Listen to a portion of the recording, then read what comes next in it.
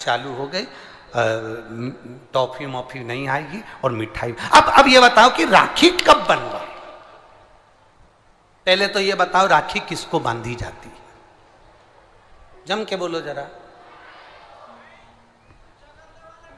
सही बोले। तो क्या बोलते हैं वो नाटक में? सही पकड़े।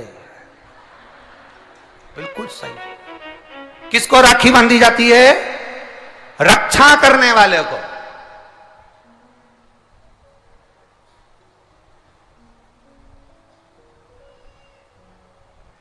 तुम्हारी बहन तुम्हारे साथ चल रही है। और तुम्हारी ज़िंदगी में हर पल वो तुम्हारा साथ दे रही है। है कि नहीं रक्षा करने वाली? राखी आप अपनी बहन को भी बाँध सकते हो।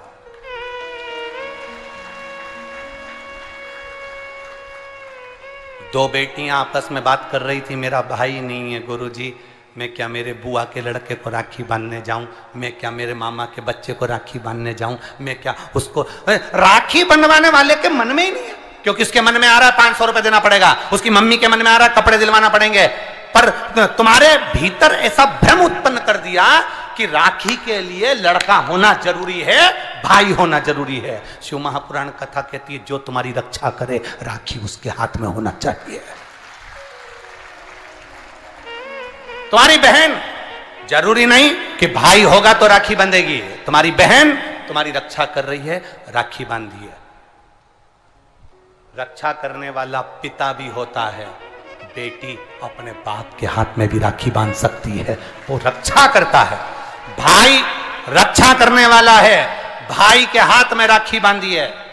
और मेरा गणेश, मेरा शिव, मेरा ओघड़दानी, मेरा लड्डू गोपाल, मेरा कृष्णा, मेरा राम, जो भगवान तुम्हारे घर में है, राखी उनको भी बांधिए वो तुम्हारी रक्षा करते राखी गुरु को भी बांधी जाती है, क्योंकि गुरु रक्षा करने वाला होता है, मार्ग प्रशस्त करने वाला होता है।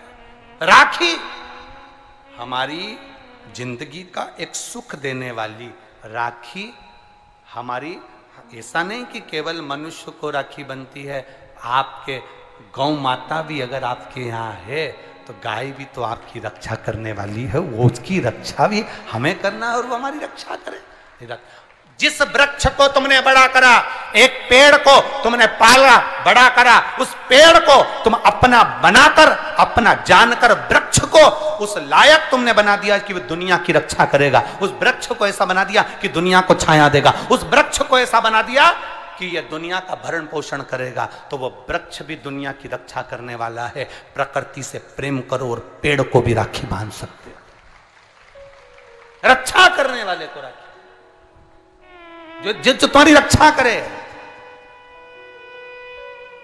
एक माँ अपनी बेटी की, अपने बच्चों की रक्षा करती है। ये ज़रूरी नहीं कि तुम हमारा भाई नहीं है, अब हम किसको राखी बांधे, हम किसको भाई बनाएँ, हम किसको भाई बनाएँ, हम किसको भाई बनाएँ। जी जी, ये भाई बनाने के चक्कर में धोखे में मत आ जाना।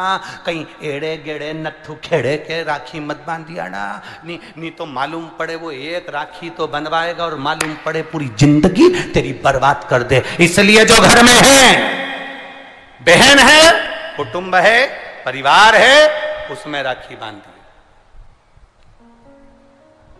बहुत बहुत भ्रम फैला रहे हैं लोग नाटकों के माध्यम से, बहुत भ्रम फैला रहे हैं। कितना सुंदर व्याख्यान। तो राखी कब बांधे हैं? मूल प्रसंग तो छूट ही गया। कब बांधे? अब तुम बोलो। मेरा निवेदन केवल इतना है। तीस तारीख को रात्रि में बड़े आनंद के साथ नौ बजे के बाद आपका मन करे, आप बाबा का स्मरण कर कर, बाबा का नाम लेकर, वैसे तो शिव का नाम ऐसा है कि वो अजर और अमर है मेरे बाबा का बनाई गई हर घड़ी, हर पल, हर क्षण मेरे बाबा का है। उसका नाम लेकर रात्रि के नौ बजे के बाद आप भगवान की राखी का स्मरण कर कर बांधो। कोई मना शिव तत्व को। त्यौहार कब का है? राखी का त्यौहार कब लिखा है पंचांगों में कैलेंडर में? तीस तारीख। लिखा ना तीस तारीख का तो मनाना। दिल से मना आनंद के साथ। अब किसी ने पूछा कि गुरुजी, राखी बांधने का तो ठीक है, आपने मुहूर्त बता दिया, मम्मी गुलाब जामुन बनाई, वो कब खाए? तो निवेदन है, जब तुम्हारी मर्ज़ी पड़े, दिन भर राखी में भद्रा है, खाने में भद्रा नहीं है।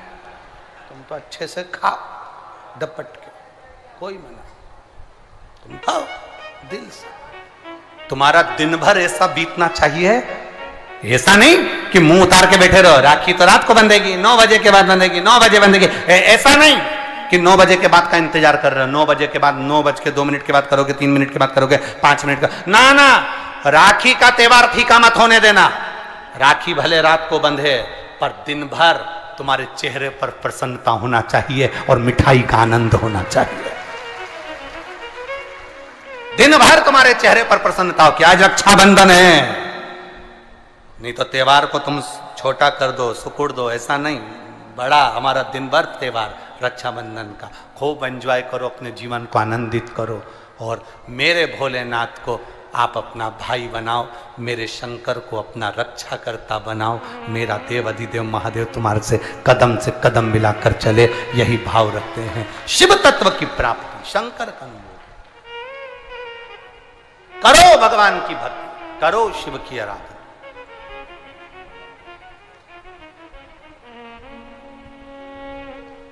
रात्रि को नौ बजे के बाद दो तीन मिनट ऊपर हो जाए। उसके बाद आप भगवान का भजन करते हुए खूब रक्षाबंधन का त्यौहार आनंद से मनाइए।